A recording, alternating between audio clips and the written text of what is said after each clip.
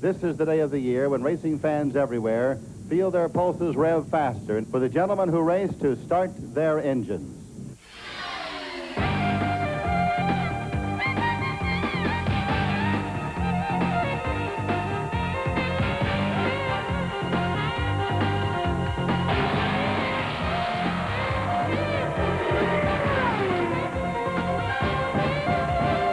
Quédese con nosotros que ya viene Speedweek.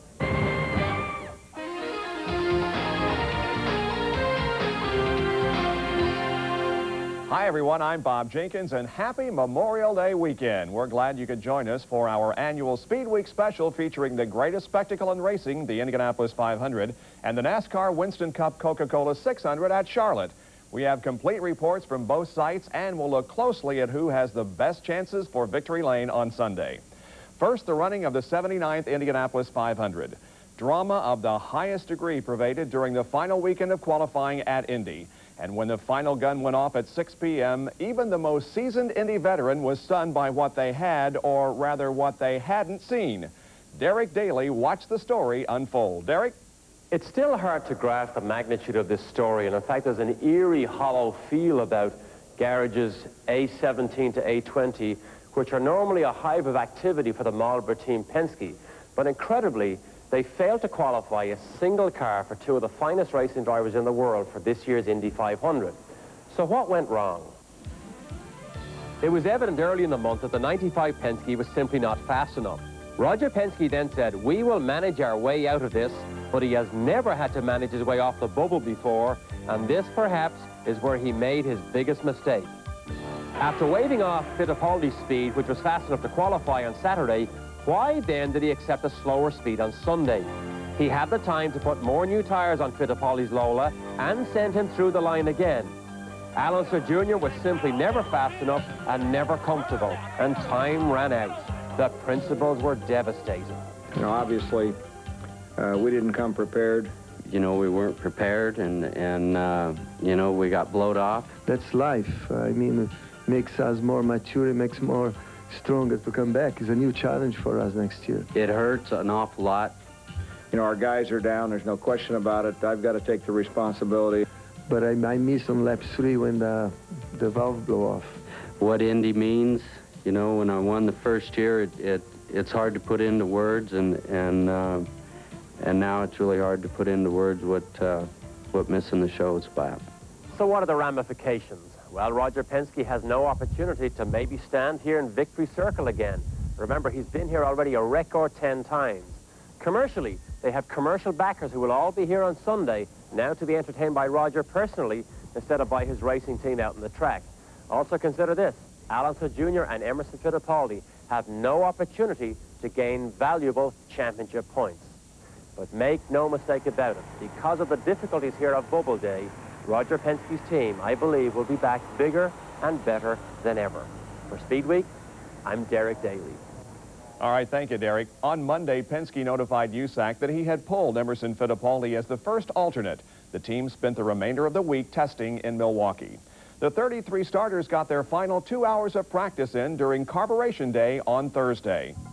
The two Honda-powered cars of Scott Goodyear and Andre Ribeiro led the speed chart at 228.3 and 227.4 respectively, completing the top five Michael Andretti, Hiro Matsushita, and Paul Tracy.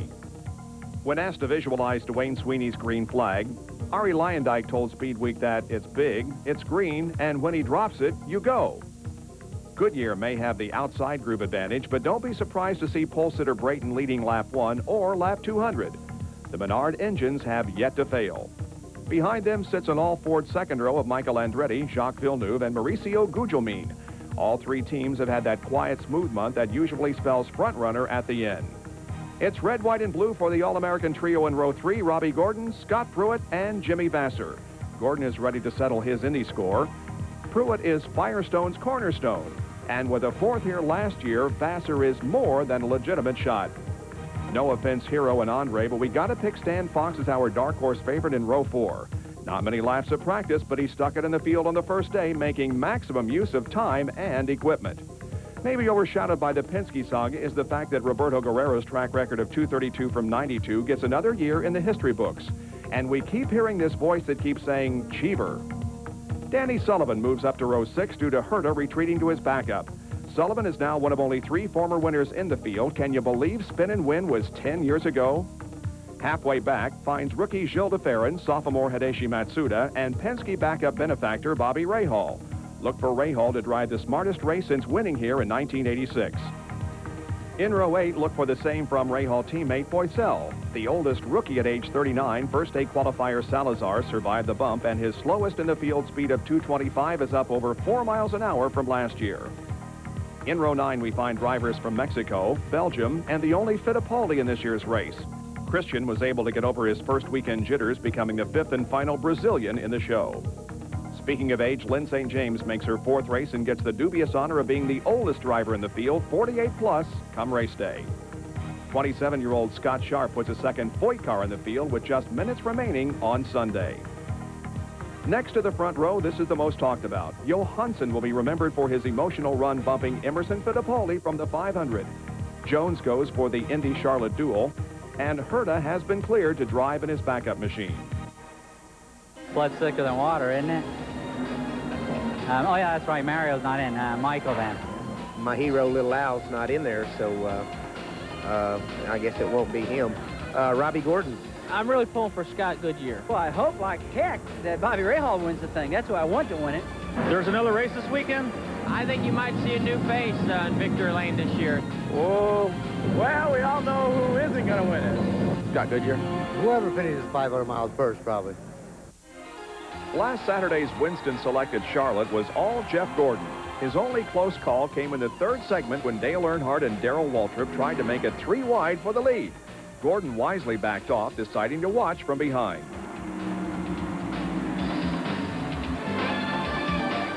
That left Gordon free and clear, and with his first ever Winston Select win, he banks $300,000 and becomes the automatic favorite to repeat in the Coca-Cola 600. There are over 40 other drivers who would like to stop Gordon in his new car named Blazer. They got their first chance Wednesday as Goody's pole night locked in the top 20 positions for 600 miles on Sunday.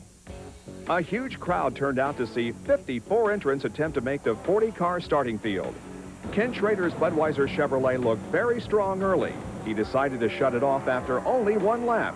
His speed of 181.519 miles an hour grabbed him a temporary pole spot, but eventually was bested. Effective just prior to pole night was an aerodynamic change to the Pontiacs. The front air dam was lowered by a quarter inch and the rear spoiler was raised also a quarter inch. Michael Waltrip turned in a respectable 181.622 on his run and by evening's end would be at the top of the Pontiac class. Under some watchful eyes, Schrader's teammate Jeff Gordon took his turn and by the end of lap one, it was clear. This car is fast, period. Gordon only needed one circuit to get an event record with a time of 29.370 seconds and a speed of 183.861 miles an hour. Our Benny Parsons talked to Jeff. Thank you, Benny. Uh, I, I, don't know what to say. I'm, I'm as much in shock right now. I mean, I thought we had a car to, to get the pole, but I didn't know we had a car that was going to go that fast. And, uh, you know, there might be some guys that can beat it, but if they do, they're going to have to work real hard, and my hat's going to be off to them. Trust me, if they do beat that lap. Always the biggest crowd noisemaker, five-time Charlotte winner Dale Earnhardt was next to last out, but couldn't even come close to the top 20. Back in his original colors, Dale posted a speed of only 179.045 miles an hour, good for 34th. So Gordon gets the top spot for the second consecutive 600 and will try to match the 92 and 93 back-to-back -back feet of Dale Earnhardt. Bobby Labonte gets the other front row honor. He's ready to climb from 8th in the points and better his best ever Charlotte finish of 15th. 1995 Rookie of the Year contender Ricky Craven gets his best ever Winston Cup starting position, putting his Kodiak Chevy inside of row 2. Brett Bodine always runs strong at Charlotte. Junior's knack with gas mileage could be the key. Waltrip winds up fifth and is the only Pontiac in the top 20.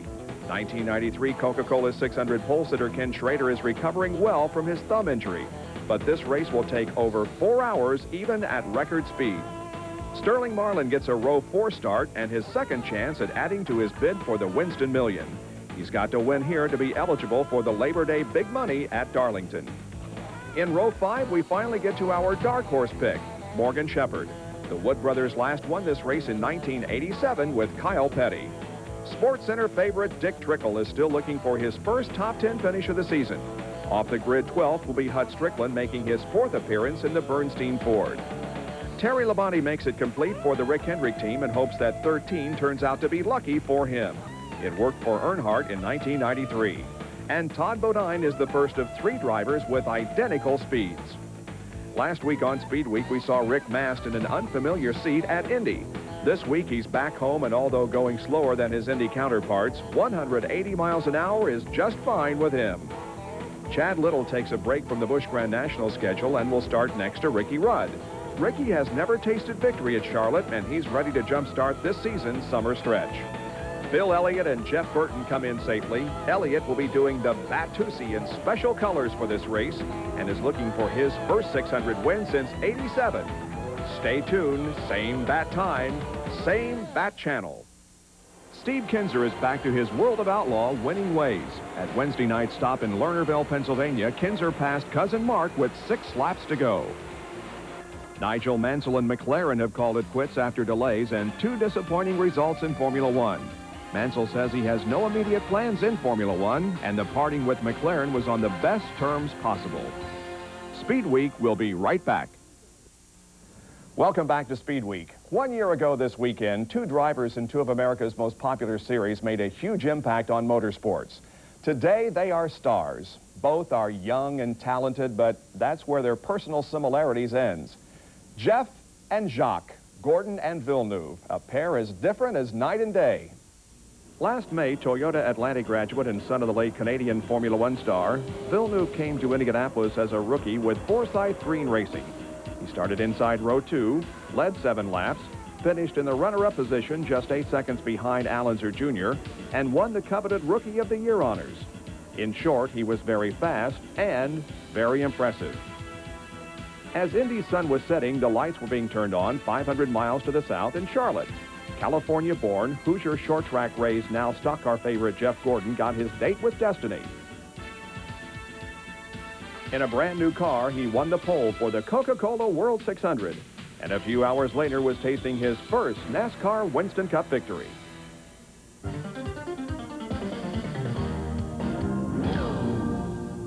Once you find Victory Lane, uh, it's like now you know how to do it. Now you know you can do it.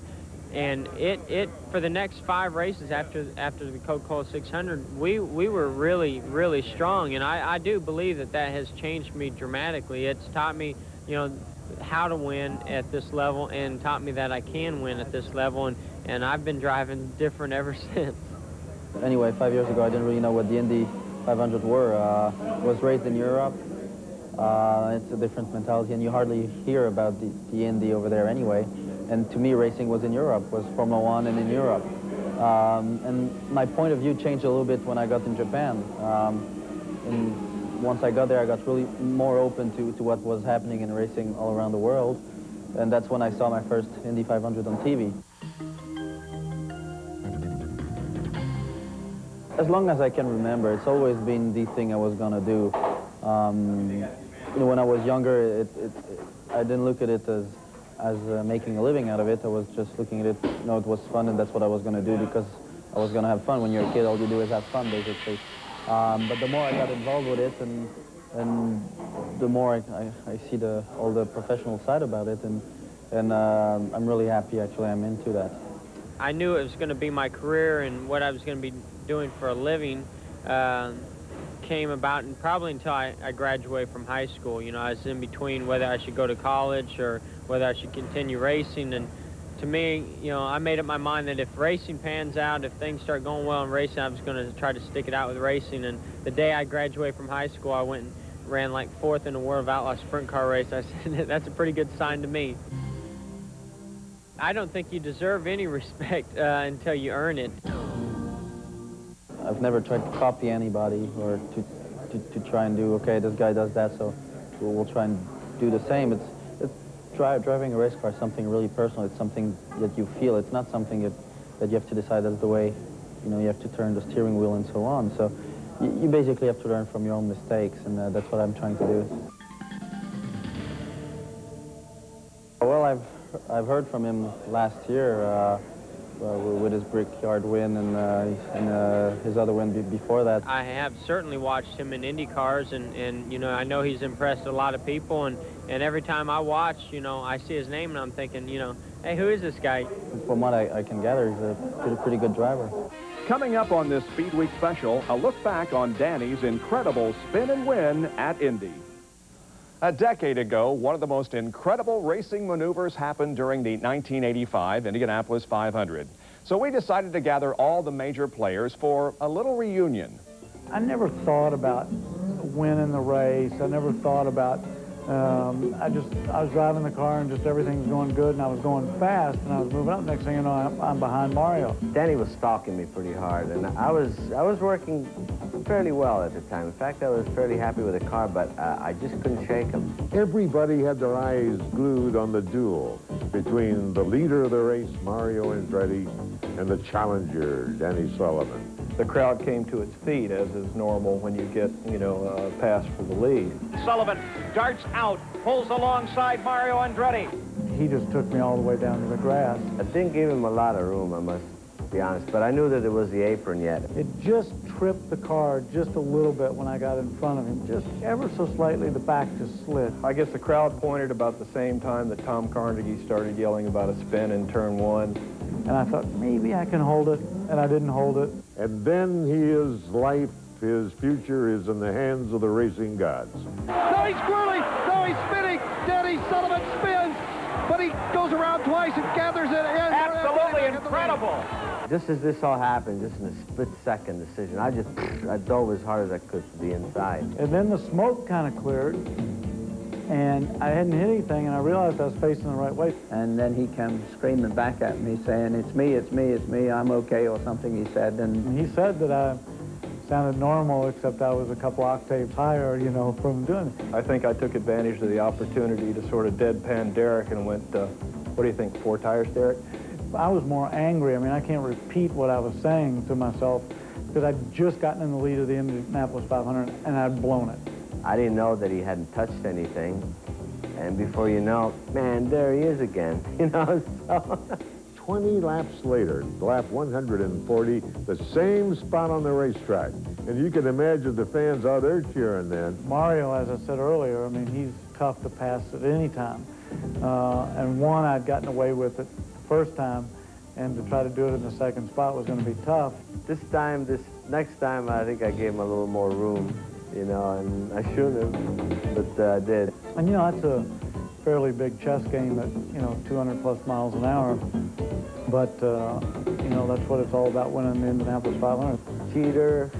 Danny Sullivan recovered from the spin. He's now in the lead of the Indianapolis 500. I never thought or believed I was going to win it until I came out of turn four on the last lap. And really was about halfway to the start-finish line, and I knew even if it blew up, I was still going to get across the line before him. The Indianapolis 500 has a new champion as Danny Sullivan has won the 69th Indianapolis 500. Somebody was riding along with Danny that day because, um, you know, you just don't do those things and get away and let alone win the race. So it was a special day. I, I met every person who was sitting between turns one and two because I've signed everyone's autograph at least twice because everybody that I've met I was sitting right there where you spun, you know.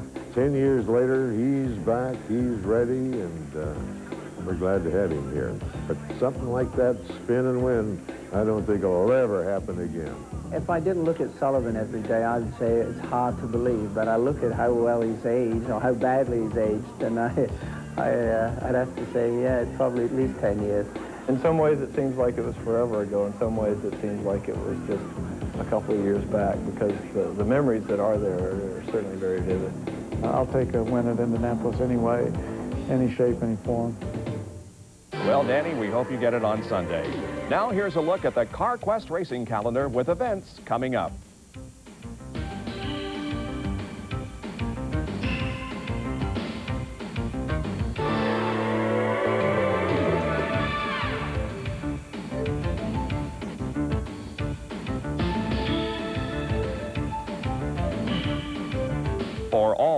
Auto parts needs, you'll find it at CarQuest.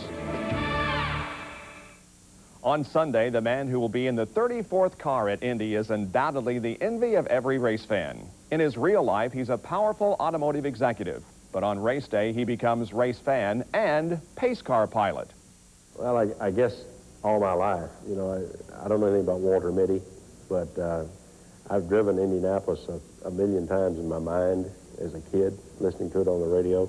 I understand that restoring vintage Chevys is a hobby of yours. How many do you have? Well, I'm at five now, and uh, I, I was fortunate enough after 1993 to buy the one and only six-speed pace car. We built one for, uh, for uh, Muncie, and I wound up with uh, the one six-speed car, and it is a fabulous, fabulous car. Right now it has a sum total of about 7,800 miles on it, but I have a 57 Chevy Bel Air uh, sport coupe that's just phenomenal, and a 69 RSSS Camaro that John DeLorean had, and uh, Karen Valentine had, and then I got, and uh, my wife just presented me on my 60th birthday with a 55 Chevy Bel Air two-door that I've been trying to buy for six years. And I was not persistent enough to buy that car. My wife bought it. She got it done. And then I've got another project uh, that, uh, that we're working on right now that involves a 38 Chevy. So. I don't care what you've done or where you've been, when you're at the front of the field on race morning and there are 300,000 race fans all around you, it must be a real thrill. Can you put it into words? Well, first, regardless of the last time you went, you, you need the restroom. For an amateur, I guarantee you. I can imagine what the, the guys behind me feel like, but it is the, uh, you know, something that's even bigger than that. When you're out on the grid and you're ready to start, and the cars are lined up, and they play back home again in Indiana, and they play the national anthem man, this thing is really, it's just too big. And, and it is, it's just, it's too big to comprehend.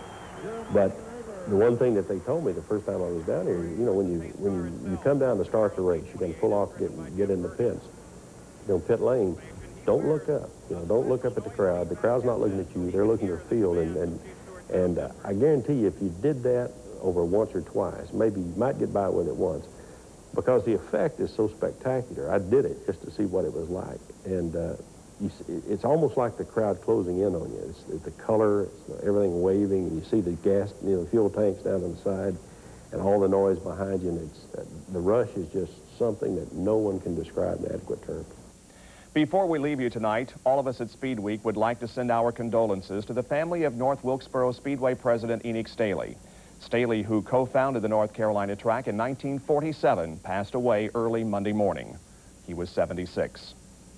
The countdown continues to Memorial Day weekend, and we leave you with the tribute to the Hulman George family in celebration of 50 years of ownership in the greatest of sporting traditions. Have a safe weekend. So long, everyone.